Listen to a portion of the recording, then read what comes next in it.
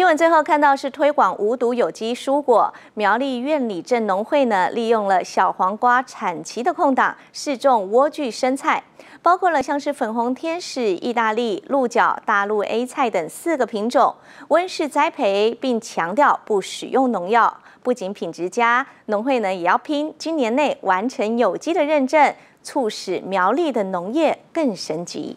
菜叶有如波浪般卷边的意大利绿卷。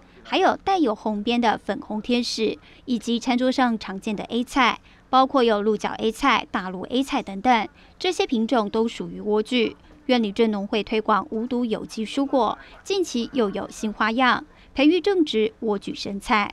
哦，那可能就是一个礼拜左右，那就可以采收。它比较小颗的呢，可能就是十天到十五天左右，啊，都是陆陆续续可以采收的。哦，那。我们爱情果园也投资在于设备上，哦比较多，哦尽量我们就是利用这些设施，我们把病虫害都挡在外面，哦让里面达到没有农药的境界，哦啊请我们的消费者可以安心的来食用。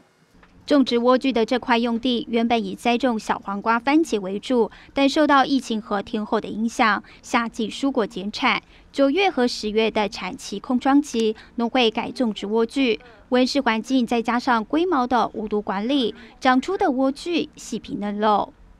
叶莴苣为主了哈啊，大概种了四五个品种。那这些有机蔬菜还是在试验阶段。那整个爱情果园，我们是还是以番茄为主轴。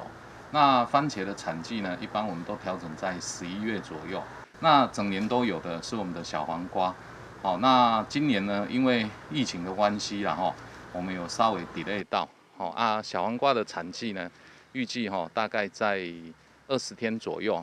爱情果园莴苣产季较短，十月中、十一月会改由番茄、小黄瓜接力。农会不断尝试栽培新农产，让消费者多点选择。而目前也正着手申请有机认证，以升级苗栗县农业。